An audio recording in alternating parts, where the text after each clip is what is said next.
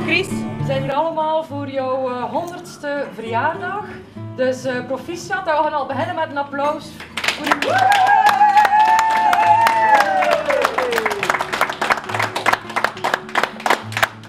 Beste Ramonda, wij zijn blij om hier vandaag aanwezig te zijn in uh, woonzorgcentrum Warmhof ter gelegenheid van uw honderdste verjaardag. En vandaag willen we jou namens het gemeentebestuur van Maldegem dan ook heel graag in de bloemetjes zetten. Rimonda, je werd geboren op 24 januari 1924 in Strobrugge, meer bepaald in het fort, tussen de twee kanalen, tussen de Blinker en de Stinker. En Ramonda, jij was de oudste dochter van Elvira de Vusser en Bernard Rubens. En later kwam er ook nog een broer bij, Maurice.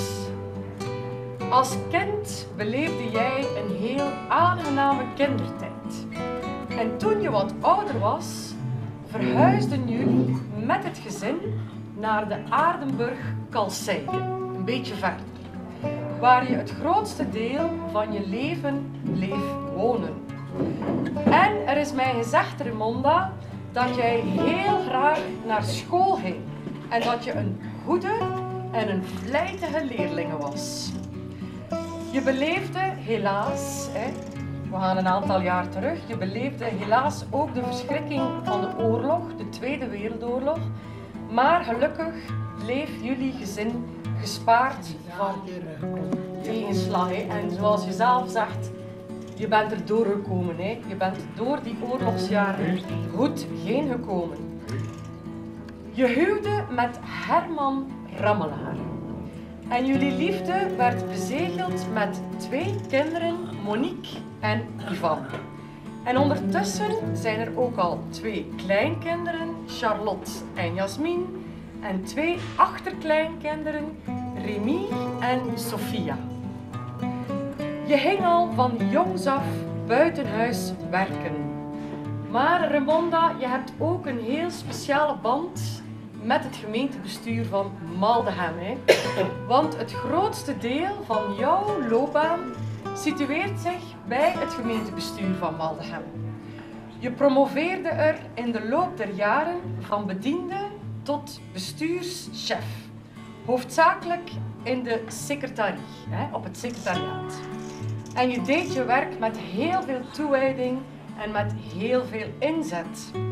En een onvergetelijk moment in jouw loopbaan was voor jou de gemeenteraadszitting waarbij Adenhem en Middelburg, toen nog twee aparte dorpen eigenlijk, hè, twee aparte dorpen met een aparte postcode. Eh? Adenhem 9901 en Middelburg 9992. Op een bepaald moment fusioneerden deze twee dorpen met de hoofdgemeente Maldegem. En jij was toen waarnemend secretaris die deze vergadering mee organiseerde, bijwoonde en ook instond voor de verdere administratieve uitvoering. Kan je dat nog herinneren? Dat moment dat Adenhem en Middelburg bij Maldegem kwamen? Ja, ja. Dat was uh, in de jaren 70 was dat, hè? De fusie helemaal. Uh, Jij hebt de fusie. Op papier. Jij hebt de fusie, de fusie allemaal op papier afgewerkt. Dat gaat waarschijnlijk een heel groot werk geweest zijn hè, destijds, in de jaren 70. 76 waarschijnlijk?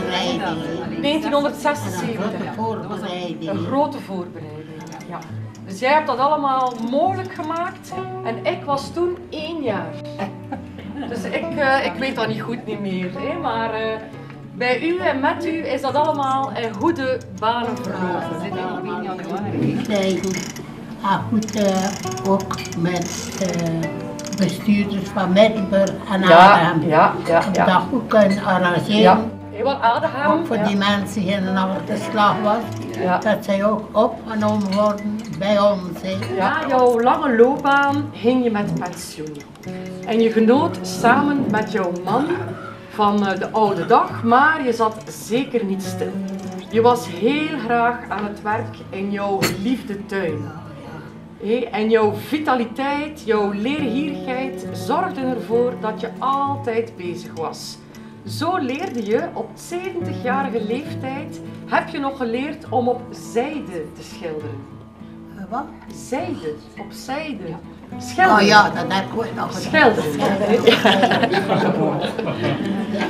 Verschillende jaren heb ik dat gedaan. Ik heb daar lessen voor gevolgd. Zeer goed.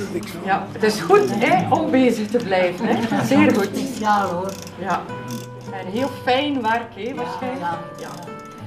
Je genoot en je geniet ook nog altijd van de bezoeken en van het samen zijn met jouw kinderen, de kleinkinderen en de achterkleinkinderen.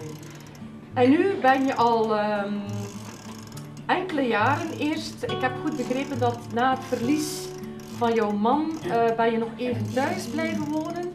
Dan ben je verhuisd naar de pastorie van Kleit. Ja. Ja, hé?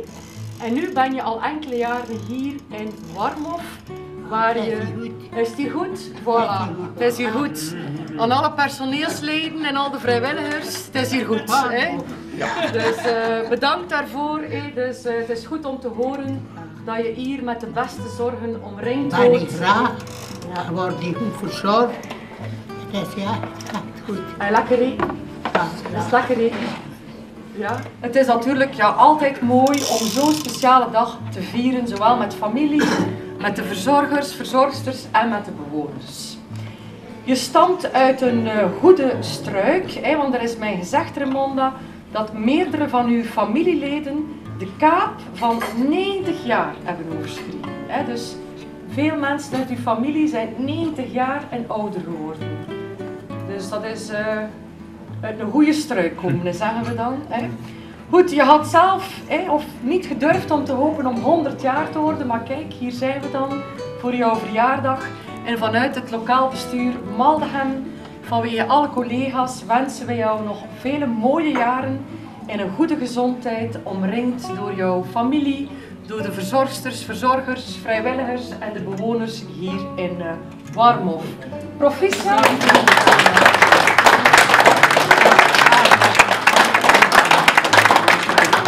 Echt waar. Uh, de eerste cadeau. Ik kan niet verwachten. Ja, maar toch hebben we een cadeau, twee cadeaus mee. Proficiat, Ramonda. Ik ben heel blij van hier te zijn. Ook een hele grote proficiat aan de familie. He, want uh, voor elkaar zorgen en aan het personeel, he, voor elkaar zorgen is toch wel een van de mooiste dingen, denk ik. Als je dat kunt blijven meemaken, dat er voor u gezorgd wordt. He, dat dat uh, allee, een van de mooiste dingen is in het leven. Ik heb hier inderdaad een cadeautje mee, maar dat is niet van mij. Hè. Ik ben vier dat ik dat mag afgeven. Ik ga het eerst, ik ga u nieuwsgierig maken. Ik ga het eerst, dat je een cadeautje meebrengt. ga het eerst aan iedereen, ga het eerst, Dat ik ga het eerst aan iedereen doen. Ik ga u een beetje nieuwsgierig maken. Oh ja. Ja, wow. Oh. mooi, het is mooi.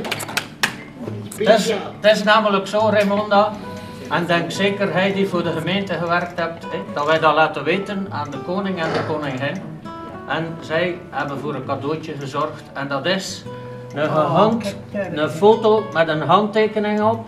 Het is volgens mij het handschrift van Mathilde, want het trekt alles eens op haar handtekening en de handtekening of de voornaam van Philippe. Dat is voor u, alstublieft.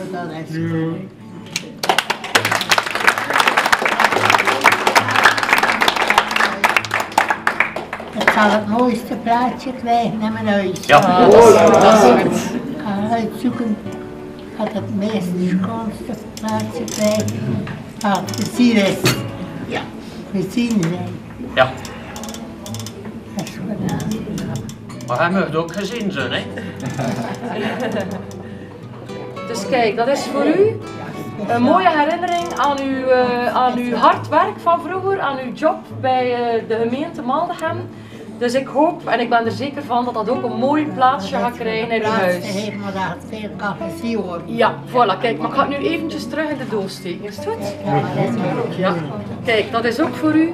Proficiat met uw verjaardag en alle goeds. Hè? Ik wens u nog veel mooie verjaard met de familie. Drie cadeautjes. Kijk, zie. Een beetje verzorgingsproduct En een parfumtje. eh. en een parfumtje. En het schijnt dat je ook een, een boek leest. Ja? Is dat goed? Leuk ik drie piepers geven van jou? Leuk ik piepers geven van jou? Drie, hè? Nog vier. En toen hebben we voor u nog kijk. Oh, dat is wel mooi. Schoon hè?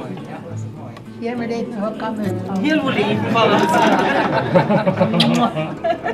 Goed? Kijk, voilà. Va bene, scuola foto. Mooi, hè? Happy birthday to